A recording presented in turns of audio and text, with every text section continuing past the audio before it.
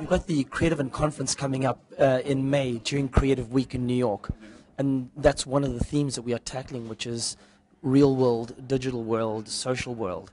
We're trying to sort of get digital players to speak about these various worlds that we have surrounding us and the interaction between that. Perhaps you can share maybe just a little bit of your thoughts on, on how you approach projects.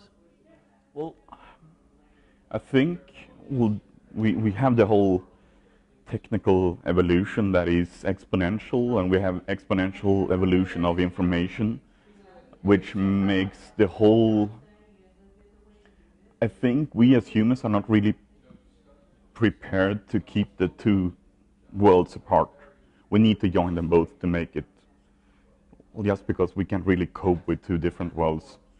And that's why I see, well, in our world where we work, we've seen a, a big shift in the kind of products we take on just in two years' time now. We used to be big, big flash sites, but nowadays it's much more about getting out where people are in the real space and connecting the digital space with the physical space.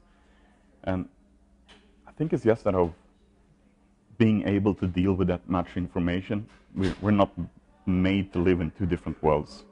We need to join them both. And I mean, the, the social, the social dimension to everything, it's just the logical evolution of the digital world. But the, the next logical evolution is that the digital world comes into my real life and it becomes integrated and in, in, in like it's, well, I don't know when the first term ubiquitous computing came up, but it's always been that idea that, well, digital will become eventually integrated, totally integrated in our real world.